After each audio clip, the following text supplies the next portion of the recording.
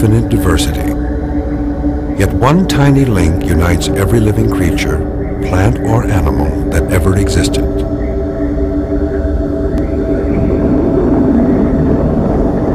The single cell.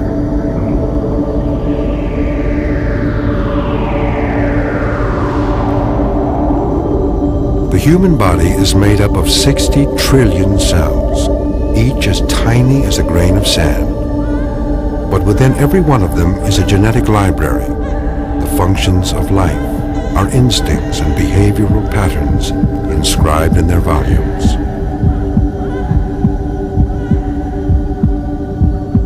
In many ways, human cells today resemble those of the first life forms to thrive in Earth's primordial seas. Etched in the cell is the history of life on our planet. Life that evolved in bursts and swells over four billion years.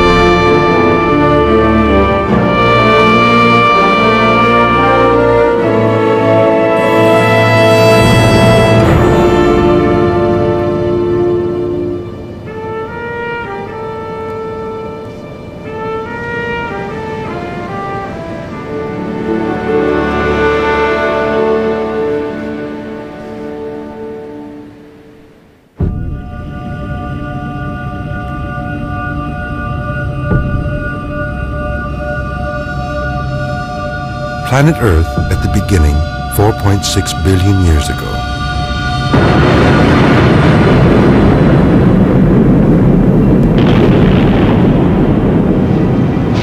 Its surface erupted in a sea of molten magma.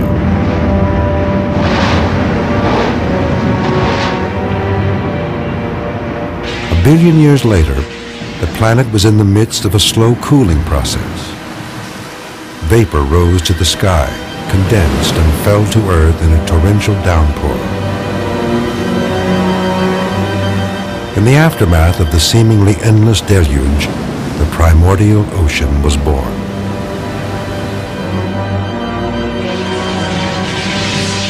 The atmosphere after the formation of the ocean was heavy with carbon dioxide, much like the planet Venus today.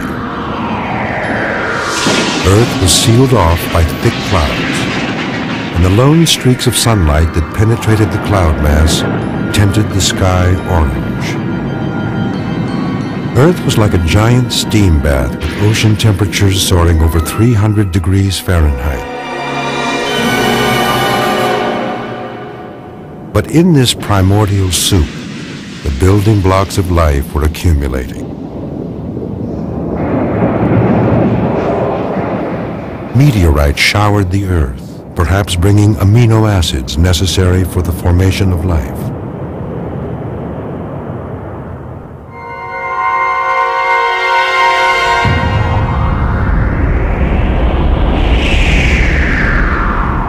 And then one day, four and a half billion years ago, an asteroid the size of Mars collided head-on with Earth. This giant impact was the greatest event in our planet's early history. The impact was of such phenomenal magnitude that it carved out part of the Earth's mantle and hurled it into outer space. A portion of the torn mantle was drawn back to Earth. Fragments of debris scattered into space were swept up by powerful gravitational forces.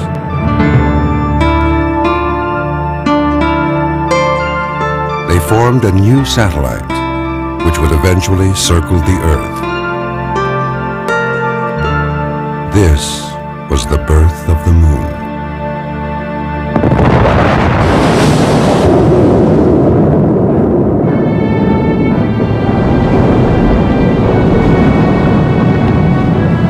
Giant impact shook the Earth to its core. On the ocean floor, rows of hydrothermal chimneys surfaced, spouting molten rock and volatile chemicals.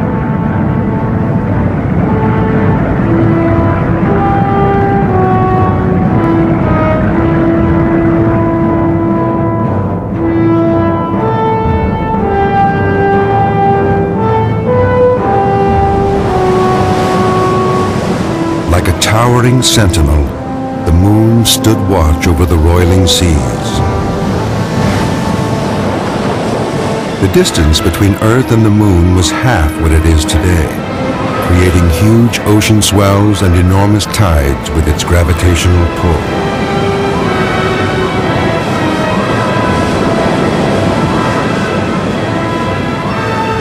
As the primordial ocean simmered, chemical reactions created complex new molecules.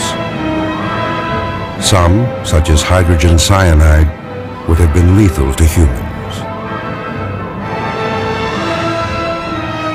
Tiny molecules of these toxic compounds combined to form larger ones. Out of this mix, other molecules that would eventually form DNA, the blueprint of a living cell, took shape.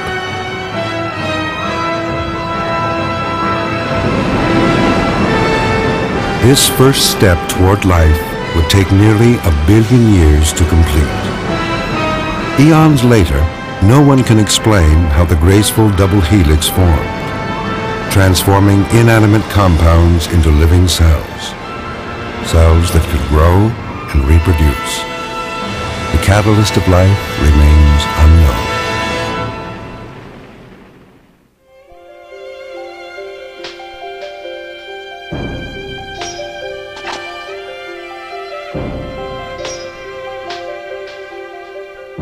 This is White Island, a tiny land formation off northern New Zealand's volcanic coast.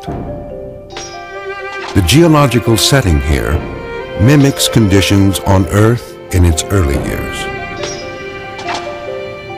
Like its volatile ancestors, this speck of an island is a steaming cauldron of activity.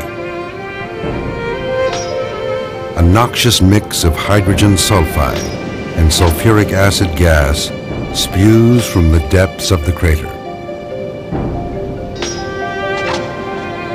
In this remote locale, the search has begun for clues to the origins of life.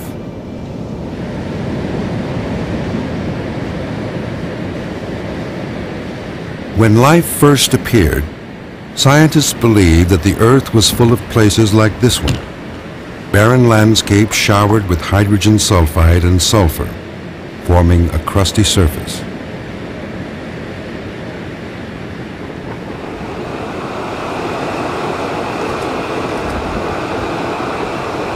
This boiling water contains poisonous hydrogen sulfide. Is it possible that life can exist at nearly 200 degrees Fahrenheit?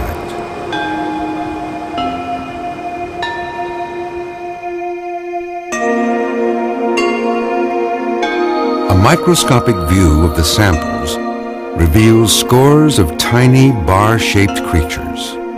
They are bacteria and may be the closest modern link to the first life forms on Earth. Billions of years ago, the planet's first organisms thrived in a toxic soup that would destroy plants and animals today. But over time, a new recipe for life would emerge.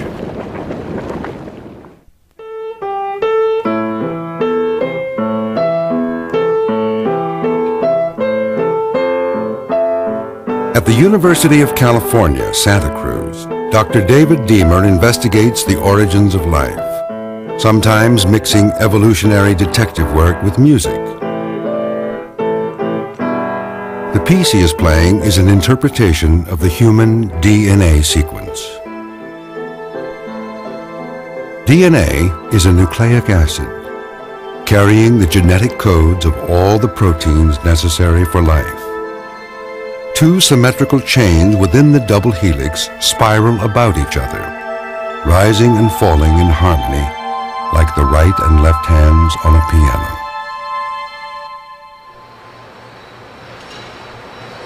The origin of life had to have occurred using the sorts of chemicals that were available on the early Earth.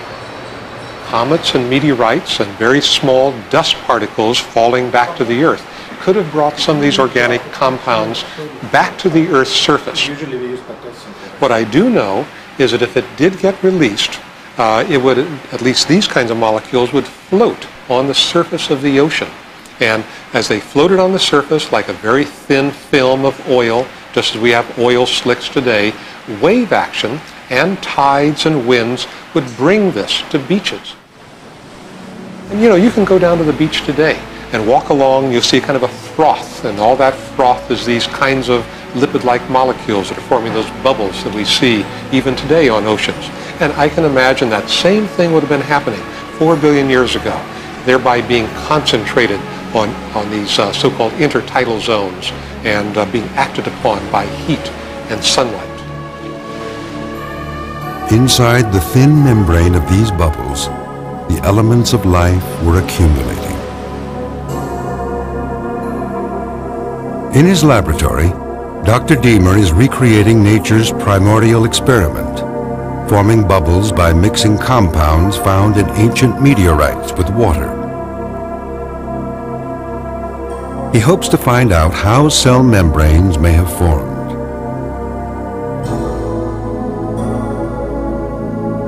The surface of the bubble is enlarged. In the middle is the membrane, through which surrounding matter is readily absorbed. What I see there is what must have happened on the early Earth in a tide pool environment. Dry down, lipid-like molecules um, get dried, they capture other molecules, the tide comes in, the rain falls, fills the pool, and just this kind of reaction must have occurred. The birth of life was perhaps a random and inevitable event. Inside the cell membrane, chemical reactions took place. The elements of life combining through trial and error to create what some have called the finest, most impressive piece of molecular architecture the DNA strand.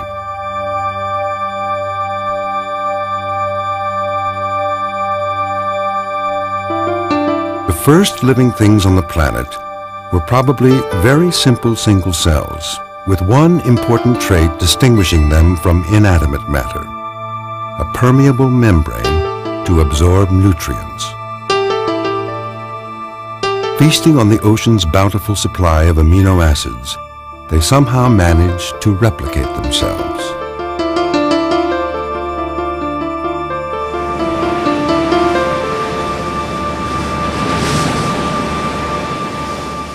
Fragile bubbles on a foamy shoreline, Earth's first life forms were modest.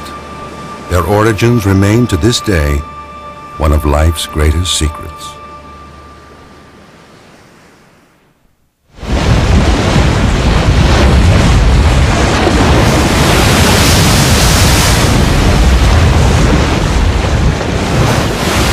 Christmas Day, 500 miles off the coast of Acapulco, Mexico.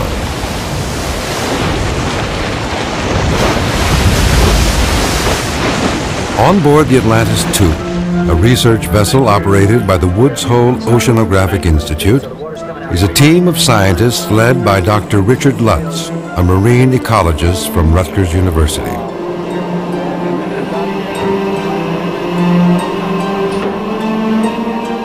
By using the latest in underwater camera technology mounted on Alvin, one of the world's deepest diving submersibles, Dr. Lutz is hoping to photograph the remains of an underwater volcano that erupted here four years ago.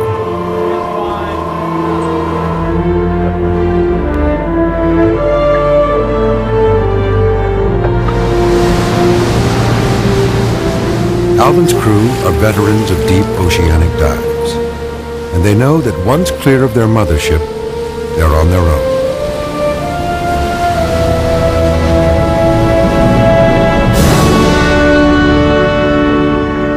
Their destination is a spot on the ocean floor known to have active hydrothermal vents. Okay, main line take it up. 25 meters.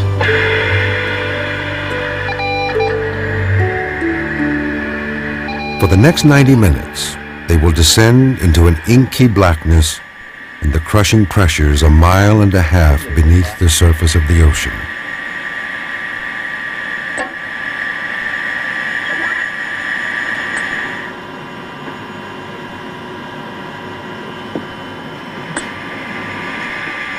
Depth 2417 meters, 82 off the bottom, call you from the bottom.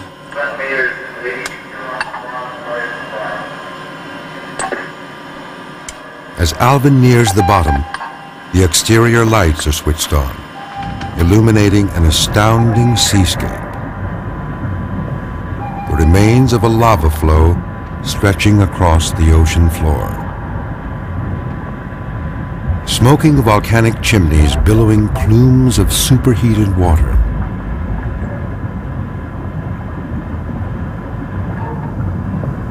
The gushing liquid is rich in hydrogen sulfide, so concentrated that it would be a toxic waste site on land.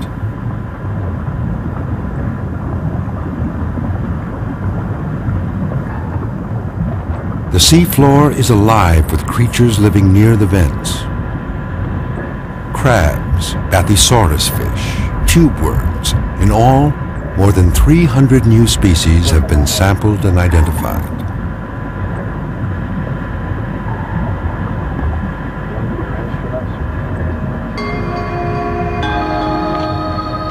The scientists retrieve a foam board they had placed there a week earlier. To their surprise, it is completely covered with bacteria.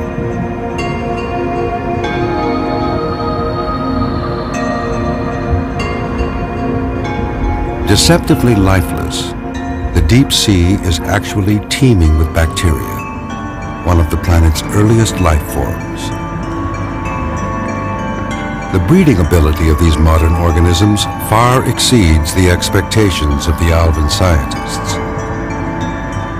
Their success perhaps linked to a diet once shared by their ancestors, hydrogen sulfide from the Earth's core.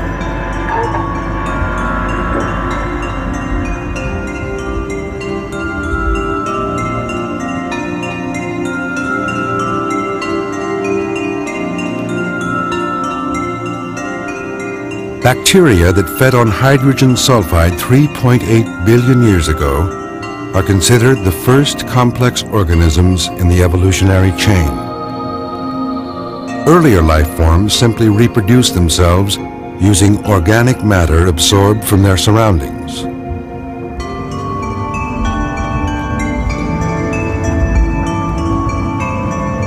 By extracting additional energy from the nutrients in the sea vents, these bacteria thrived. Over time, some developed hard shells. Others, soft membranes. Ironically, all life forms, including humans, can trace our ancestries to the most primitive of organisms spawned in a sea of toxins.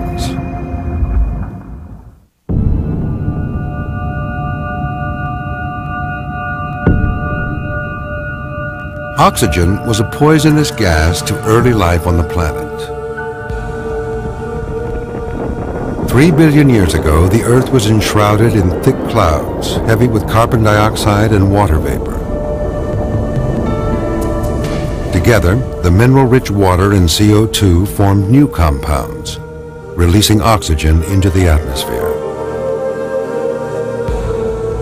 While bacteria thrived in the Earth's new oceans, Land, by contrast, remained a stark and desolate place. Continents had begun to take shape, but were still uninhabited. Then, half a billion years ago, rumbling with new energy, planet Earth remodeled itself.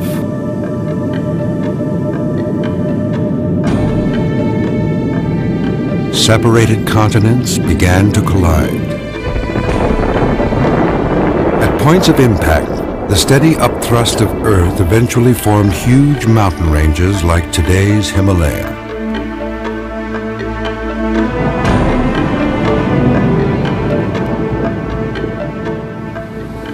The towering peaks diverted the jet streams, creating clouds and rainstorms.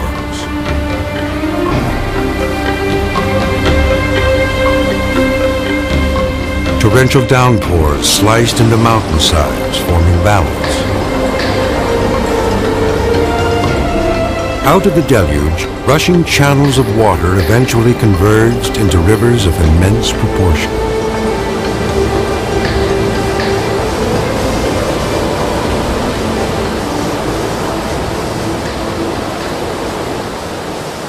In the beginning, as wind and rain eroded the surface of the earth, minerals from land flowed into the ocean, new ingredients to season the primordial soup.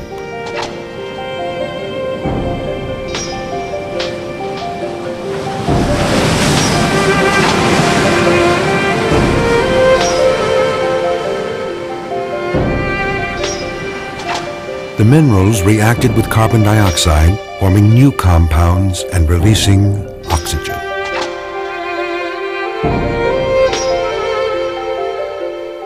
would take another two and a half billion years for oxygen to saturate the atmosphere, making it habitable for today's life forms.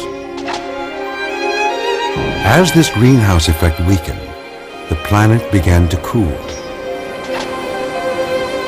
the thick clouds to dissipate, and rays of sunlight penetrated the seas.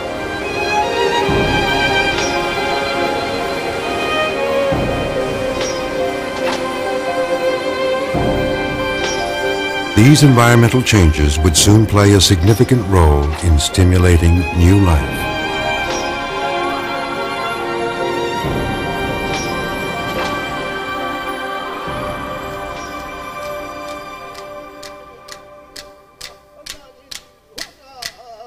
This is Pilbara, a forgotten stretch of desert in northwestern Australia. This region was at the bottom of a shallow sea three and a half billion years ago. The Aborigines of Pilbara have many legends that tell of this place, where they believe land was first created. And it is here that scientists are piecing together a creation story of their own in their search for the first evidence of life.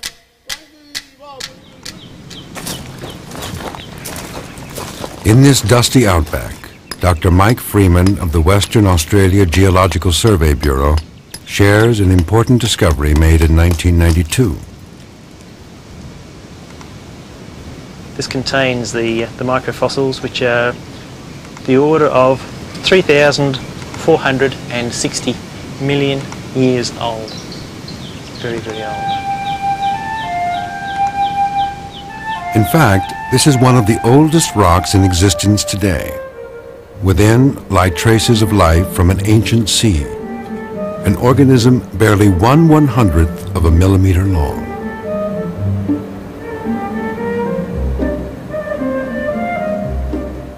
The surrounding rocks show evidence of stromatolites, the fossilized remains of cyanobacteria, microscopic creatures resembling a chain of beads. Cyanobacteria are asexual organisms that reproduce without swapping genetic information with a mate, so they evolve little over time. Modern species look virtually the same as they did billions of years ago. Cyanobacteria get their name from their blue-green pigmentation, the color cyan. We know it as blue-green algae. The first plant life on Earth would be the descendants of this primitive organism. Unlike early life forms, these cells exploited their surroundings to create their own food. Within their cell walls, cyanobacteria used energy combining water and carbon dioxide molecules abundant in seawater to create glucose. Like antennae, these chlorophyll molecules in the cell caught the sunlight, transforming it into energy. A byproduct of this process, oxygen, would one day spark the evolution of more complex life forms. This revolutionary process is in fact photosynthesis, used by all plants today.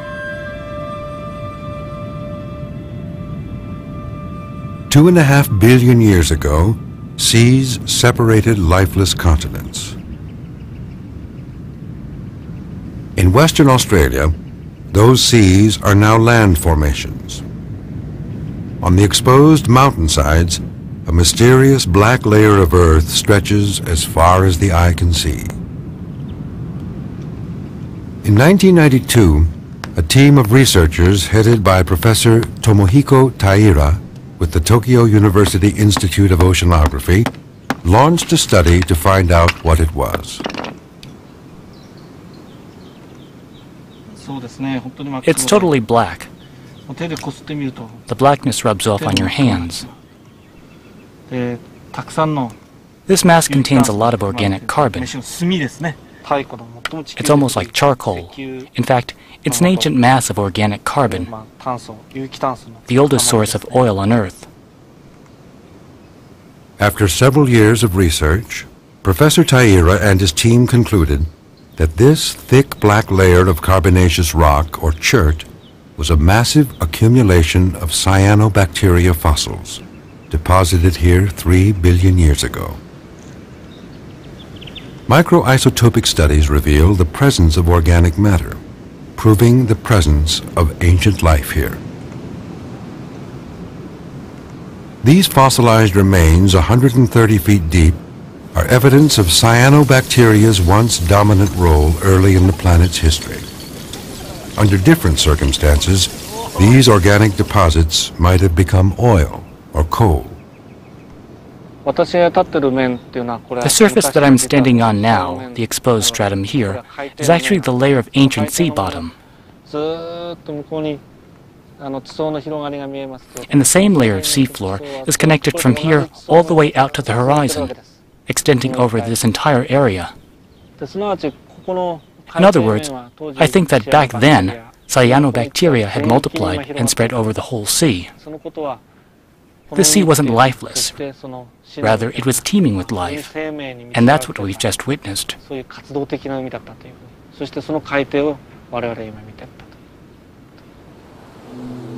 The colony of blue-green algae that blanketed these ancient seas near present-day Australia was the Earth's first documented population explosion. Its success would eventually transform the face of the planet.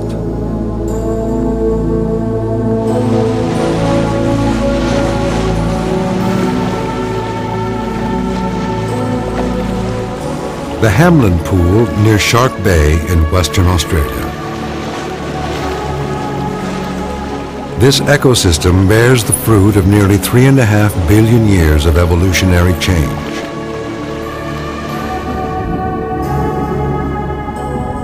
But cyanobacteria from ages past still blanket the rocks below the waterline.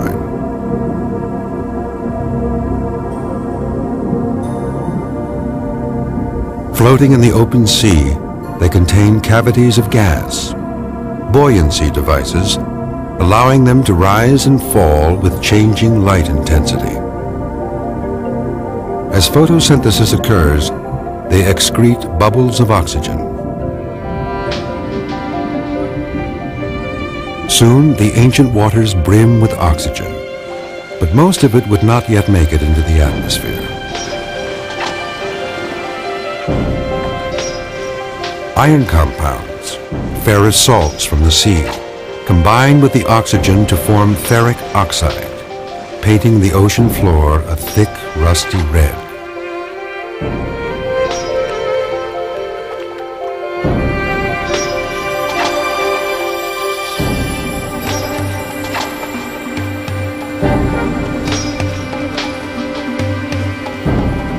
Oxidized iron from the sea also colors the landscape of Pilbara.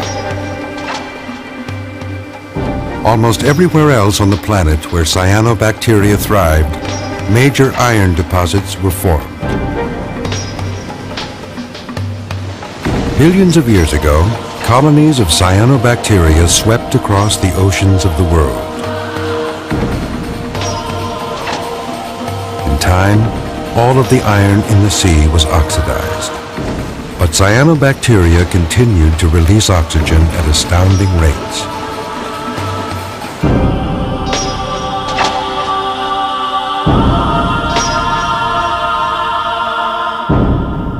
Great environmental changes were on the horizon as oxygen gained a foothold in the atmosphere and the once volatile orange skies faded softly into blue.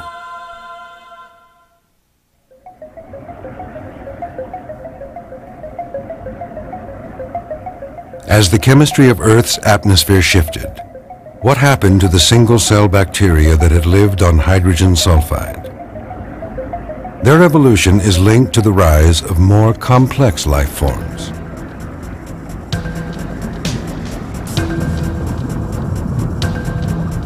The sea, once awash in hydrogen sulfide, was now rich in oxygen, thanks to the highly adaptive cyanobacteria.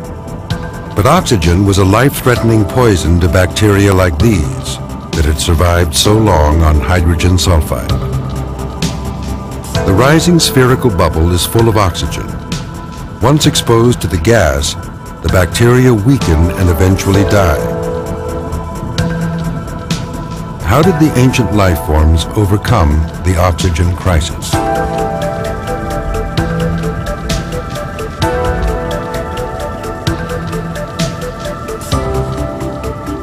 Soft membrane bacteria adopted a run-for-your-life defense strategy staying clear of the gas as much as possible.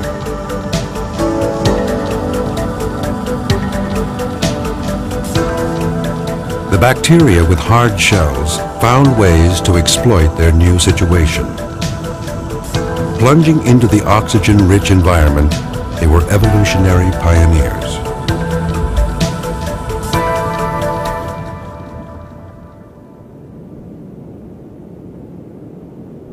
Delta del Ebro, Spain lies due west of Barcelona on the Mediterranean Sea.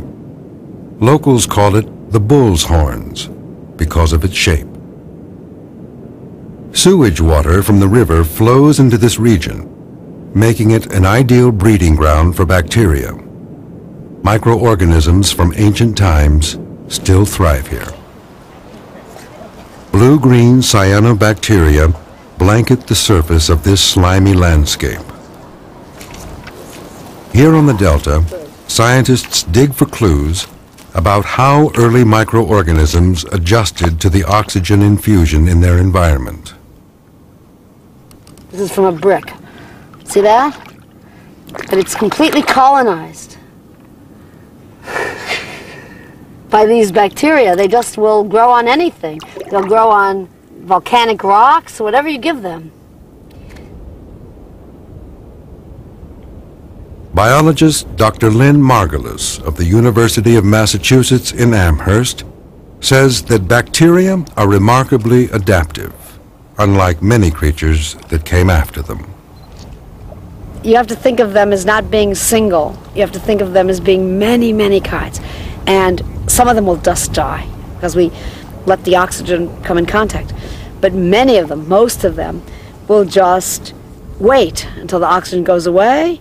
There's others that will use the oxygen but low concentration. There's others that lose, use it at somewhat higher concentration. So they line up as to what they can handle. The samples that Dr. Margulis collects from the Delta appear to be mud, but they're actually living colonies of bacteria. This wedge of green mat is cyanobacteria.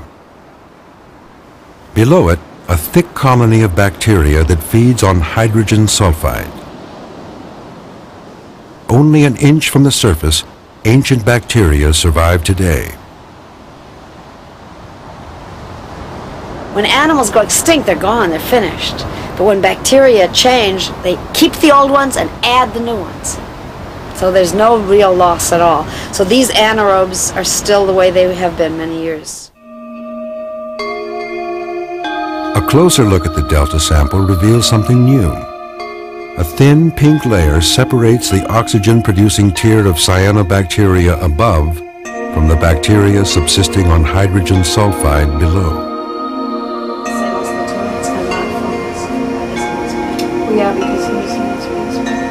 Yeah, that even when they're small and they maintain Observing this pink layer, Dr. Margulis discovered some bacteria that behave in a curious manner. This cylinder is a cyanobacterium exhaling oxygen. But instead of dying on exposure to the gas, the small surrounding bacteria advance toward it. Dr. Margulis believes that a similar phenomenon occurred in the ancient seas as oxygen waste became a key part of the life cycle.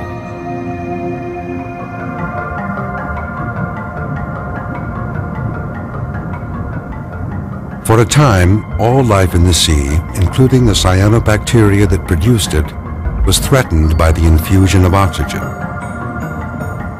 To survive and eventually evolve, the hard-shelled bacteria first developed enzymes to neutralize the damage caused when oxygen reacts with organic molecules. Soon, these survivor cells learned how to harness oxygen as an energy source, dramatically increasing their activity level and becoming fierce aggressors.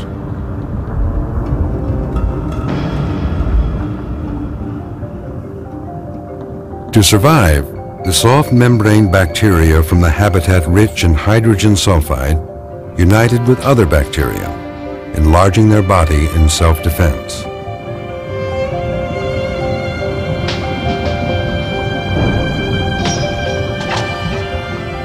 They pooled their DNA in the core of this microorganism and encased it in a new membrane. In this way, the cell nucleus was born. Now, as oxygen further penetrated the air and sea, two distinct organisms with specialized functions were developing.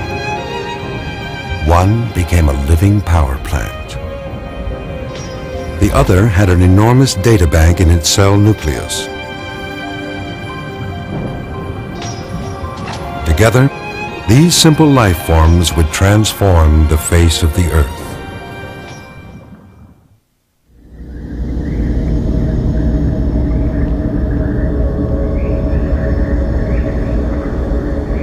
Billions of years of evolutionary progress have led to a rich diversity of life across the globe today.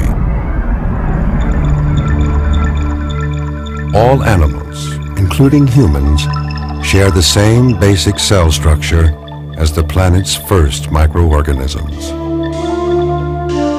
At the cell's core is the nucleus, an enormous data bank full of genetic information. Moving around the nucleus are small organs, mitochondria, in various shapes and sizes. Their job is to supply the cell with all the energy it needs and to help it breathe.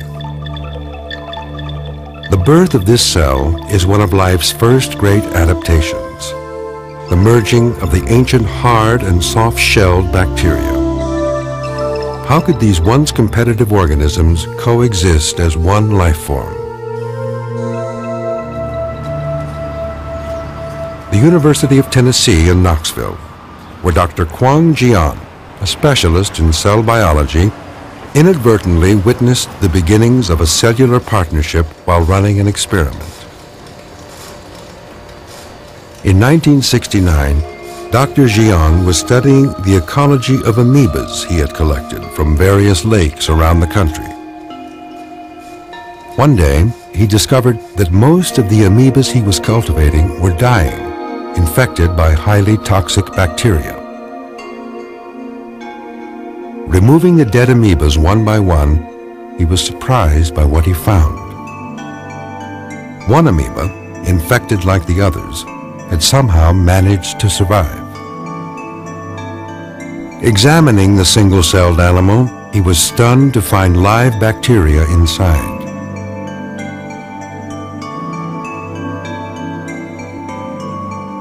Dr. Jeon decided to try another experiment on the same amoeba five years later.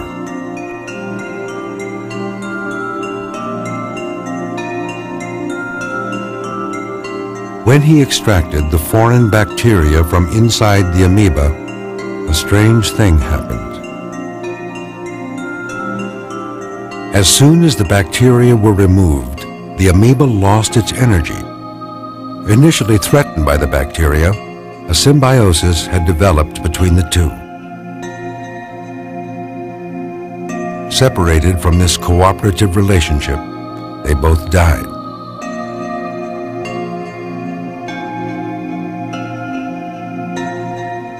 The bacteria's dependence on amoeba. From the very beginning, we tried to culture these bacteria outside amoebae, but we have not been able to culture them. They grow only within amoeba. And so they are getting something from amoeba for their survival. And we're trying to uh, find that out. Now, in the meantime, we have um, learned that uh, amoebae produce a, a, few proteins that are used by bacteria. And so it's, it's a kind of exchange. The phenomenon Dr. Jeon witnessed in his laboratory may have imitated evolutionary patterns in the early seas. Two billion years ago, two very different microbodies merged to create an entirely new organism. Its success would ultimately lead to the proliferation of new species across the globe. The cell is the foundation of all life. Without it, no living creature could eat or breathe or grow. Our very existence depends on it. Every animal cell requires the nucleus to transmit information from its genetic data bank to the mitochondria, and the mitochondria, in turn, to fuel the cell with energy.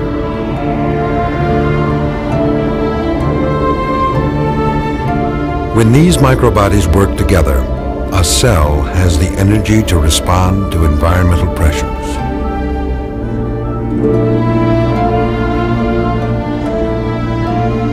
Throughout history, creatures that cooperate ensure their future while building increasingly complex ecosystems.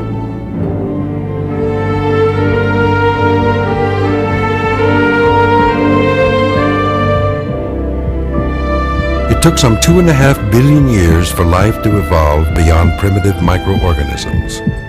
But when change came to the planet's oceans, it was dramatic.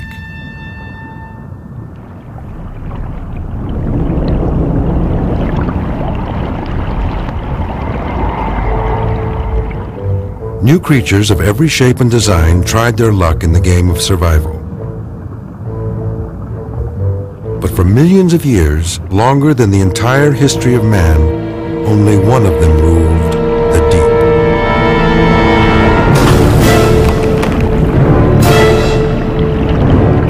The success of this aggressive carnivore may have triggered the planet's first population explosion.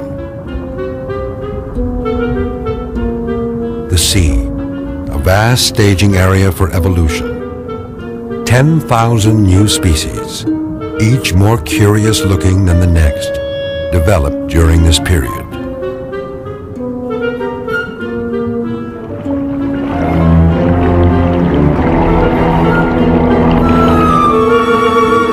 The better the design, the greater the chance of survival.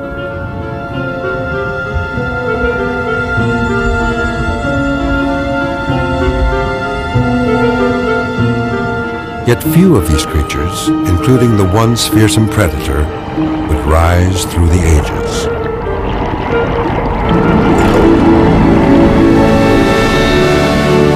Two billion years ago, only one tenacious life form thrived in our ancient seas. Today, life flourishes in every biosphere across the planet. We owe this abundance the millions of plants and animals that grace the land, the sea, and the skies of planet Earth, to life's smallest unit.